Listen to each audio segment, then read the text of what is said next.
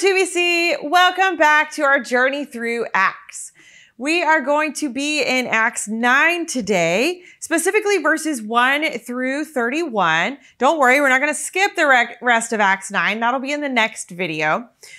But today our focus is Saul. Now, if you remember with me back to the end of chapter 7, after Stephen is stoned, we are told that a great persecution breaks out. So then at the beginning of chapter 8, we see that the believers are scattered away from Jerusalem. And everywhere they went, they took the gospel message with them. And so Acts 8, we see Philip going and sharing beyond Jerusalem. And we see Samaritans and an Ethiopian man come to faith. But here in Acts 9, we encounter again Saul. Now, Saul first come, uh, shows up at uh, the very end of the account of Stephen's martyrdom. It says in 8 1, it says, And Saul approved of their killing him. And then he is mentioned as going to destroy the church. It says, verse 3, he was he went from house to house and dragged off both men and women and put them in prison. And so driven by his zeal for the law and for the his Jewish upbringing and training, he wants to stamp out followers of Jesus. He wants to stamp out this movement anywhere it is. And so chapter 9 opens with Saul breathing out murderous threats against the Lord's disciples. And so he went to the high priest and he requested letters to the synagogues in Damascus so that he could go there and arrest all of the followers of Jesus who were there. If you notice with me here in verse 2, the followers of Jesus are called those um, who belong to the way. This is the first time we see that phrase used here in Acts, and it'll be used six times. This phrase, the way, connotes this imagery of following in the way of Jesus. In John 14, 6, Jesus says that he is the way, the truth, and the life. Isaiah 40, prepare the way of the Lord. So this image of the way and traveling along with God, with Jesus, those who are traveling along this path of discipleship are known as followers of the way. So Saul, on his way to Damascus with letters, so these letters would have been uh, letters of uh, extradition to ask these synagogues for permission to take the followers of the way back to Jerusalem so that they could stand trial. And he's headed toward Damascus. Now, Damascus was an ancient city with a very long history, and it was controlled by many different uh, nations over the centuries. And at this point, there are quite a few Jews, thousands of Jews, most likely, who were living there in Damascus. We're told he's asking for letters to the synagogues, so more than one. So there was more than one gathering place for these Jews. So Saul and his traveling buddies set out towards Damascus. And as they are going, Saul has a vision. A bright light comes. It says a light from heaven flashed around him and he fell to the ground and heard a voice say, Saul, Saul, why do you persecute me? Who are you, Lord? Saul asks. And he says, I am Jesus, whom you are persecuting. Now get up and go into the city, and you will be told what you must do. So Jesus appears to Saul here on the road to Damascus while he is in the midst of breathing these murderous threats on his way to persecute the followers of Jesus. Jesus meets him in that moment.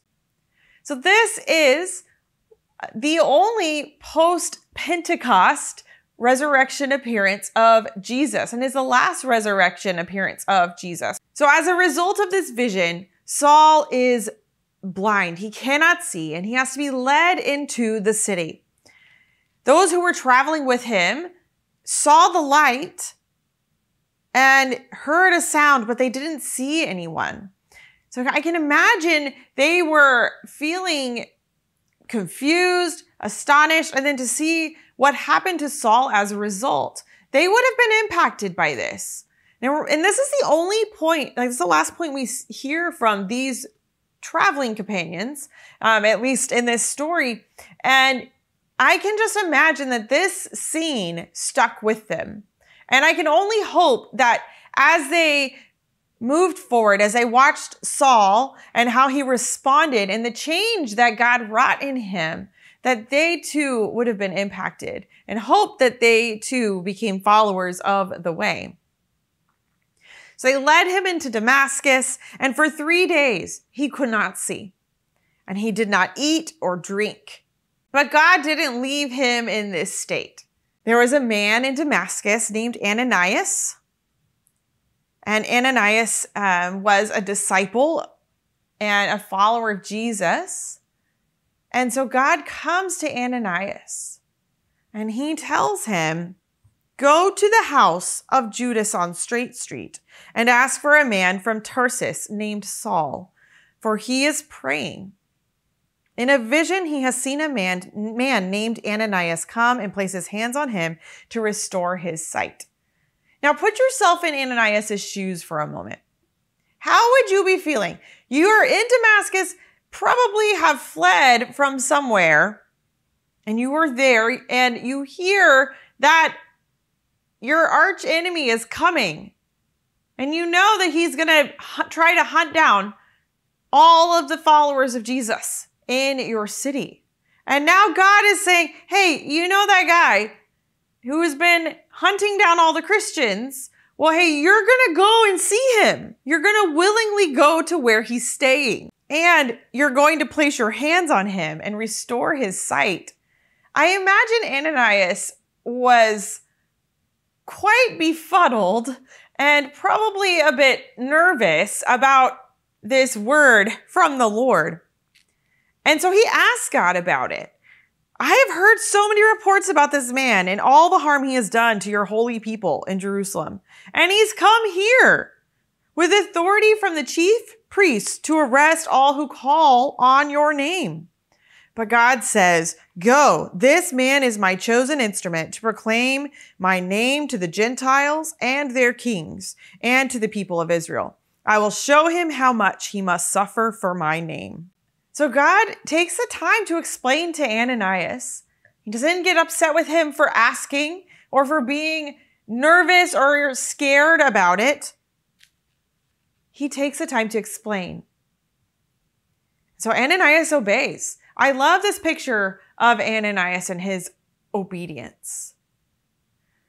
God calls us to do hard things, things that make us uncomfortable sometimes. Because the way of Jesus is not a way of all that's all cheery and roses and easy. The way of Jesus is hard.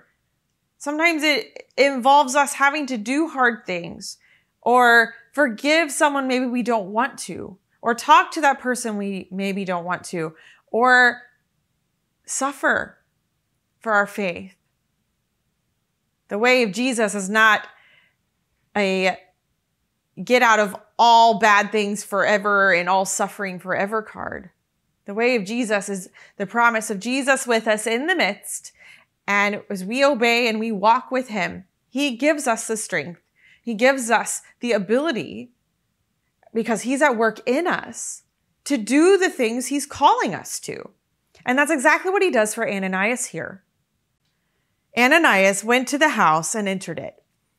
Placing his hands on Saul, he said, Brother Saul, the Lord, Jesus, who appeared to you on the road as you were coming here, has sent me so that you may see again and be filled with the Holy Spirit. So he doesn't just go and begrudgingly do it. He goes, he's brother Saul. He embraces Saul as a brother, as a brother in Christ, and prays that he will be filled with the Holy Spirit. Because God has plans for this man from Tarsus, this well educated Jew who has all of this zeal. God had plans for him. And so we see here that Saul is healed. His eyes are open, both physically, like something like scales fell from his eyes and he could see, but also spiritually. He's beginning to understand that Jesus is the Messiah. The one he was persecuting is actually the one he should be following. So he gets up, he is baptized, he eats something, and regains his strength because it had been three days since he had eaten or drinking anything. And he remains there in Damascus for several days. And he immediately begins to preach, go into the synagogues and proclaim that Jesus is the Son of God, that he is the promised Messiah. And everybody is surprised. This is the guy who was coming to take away all the Christians and take them back to Jerusalem so that they could stand trial. And yet here he is, following the one that he was persecuting. It says he grew more and more powerful, that's verse 22, and baffled the Jews living in Damascus by proving that Jesus is the Messiah. And I love this picture because we, Paul will say later on in his letters about more about his education and about how he was trained. He was trained as a Pharisee. He knew the law. He knew the words of scripture. He had been taught them.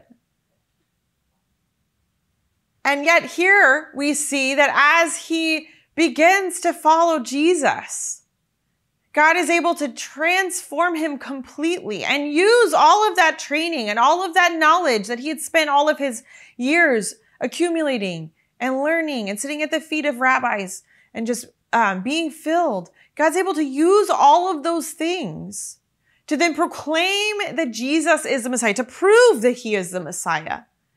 Paul knew all the right things to say. And now he had um, knowledge of the one who fulfilled all of the law. Now, with all of his same passion and zeal, now channeled in the right direction, Saul goes out preaching, and it does not take very long for him to be persecuted. We're told that there was a conspiracy among the Jews in Damascus to kill him, but the believers lowered him down through an opening in the wall in a basket so he could escape. And he went to Jerusalem eventually. And he tried to join the disciples there, but they were all afraid of him. And can you blame them? I mean, his first, their first instinct was probably like, he's just trying to get in on the inside so he can find out who we all are and then turn us all in. But Barnabas, the encourager, took and took him and brought him to the apostles. And he shared about what Jesus had done for him and how he had preached in the name of Jesus. And he stayed there and he was able to preach and teach in Jerusalem and speak boldly in the name of the Lord. Can you imagine what the chief priests and all of the religious leaders thought? Paul was not, uh, Saul was not an unknown. They all knew him. They knew that he had gone out to persecute the church. And here he does, comes back believing. No wonder they were so upset. We're told that he talked and debated with the Hellenistic Jews, but they tried to kill him. So once again, he is um, sent out. They send him down to Caesarea and he and then off to Tarsus. So they kind of send him away to protect him. Because we know from what God told Ananias that God has a plan for Saul, that he is going to preach to the Gentiles and to the people of Israel and to kings and leaders. And we know from knowing his story that that is what will happen. And then this section of chapter 9 closes with another statement on the church. It says, Then the church throughout Judea, Galilee, and Samaria enjoyed a time of peace and was strengthened. Living in the fear of the Lord and encouraged by the Holy Spirit, it increased in numbers. So we see a little bit of a calm here from a persecution standpoint. They enjoyed a time of peace. The church was strengthened. It, be, it continued to grow. The Holy Spirit was at work, and the message about Jesus was spreading further and further, and more and more people are coming to know the truth. Next time, we will finish up Acts 9 and move into 10 and 11. We're going to pick up the story of Peter and follow his journeys for a, a little bit. So I hope you will join me again next week, and I'll see you then. Bye.